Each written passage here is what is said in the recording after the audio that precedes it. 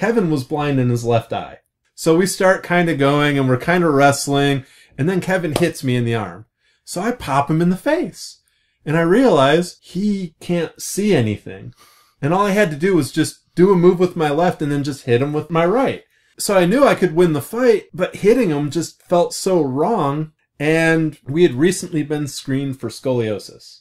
And I had a very slight curvature of my spine, but it was enough to be pushed off to that side of the gym with the twisty back kids. All of you standing in your underwear. That was a weird time. Yeah.